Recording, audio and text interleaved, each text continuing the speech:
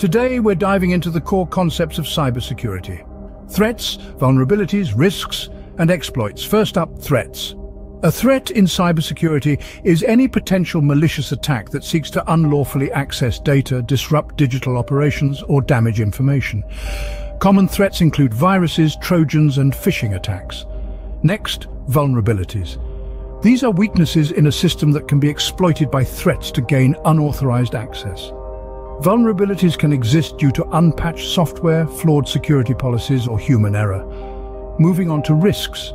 Risk refers to the potential for loss or damage when a threat exploits a vulnerability. Higher risk arises from more severe potential damage and the likelihood of an attack occurring. Lastly, we have exploits. An exploit is a method or technique used by attackers to take advantage of vulnerabilities. It's like a burglar using an unlocked door to enter a house.